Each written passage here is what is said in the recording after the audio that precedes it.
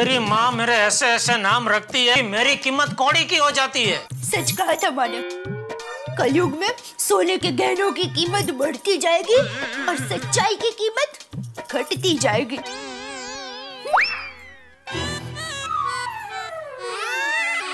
ये मेरी सास और मेरा शाला सुंदर दोनों एक नंबर के नमूने हैं।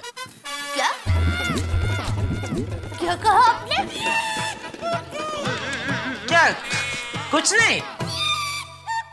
आपने मेरी माँ और सुंदर वीरा को एक नंबर का नमूना कहा। नहीं नहीं। नमूना मतलब नंग। नंग? मतलब नंग हुआ वो, वो भारी वाला कीमती अमूल्य। उनकी प्रतिभा ही ऐसी है। रहने दीजिए रहने दीजिए।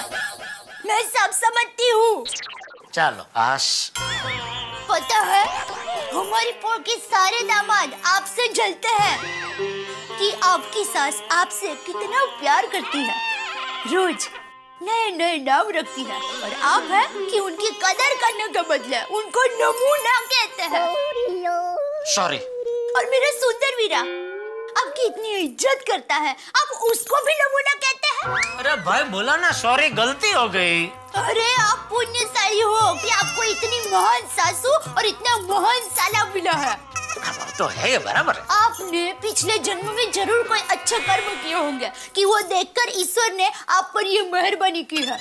मैं मानता हूँ बराबर बिल्कुल बिल्कुल। लेकिन नहीं आपको ईश्वर की ये गिफ्ट पसंद ही नहीं है। नहीं नहीं पसंद है भाई किसने बोला? पसंद है बहुत पसंद है।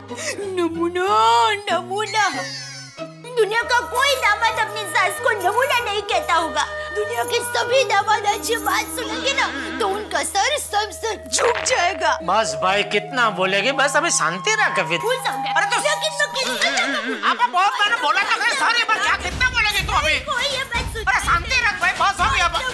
भगवान ने तो लेकिन ये दुनिया में इतना वो होना ही नहीं है।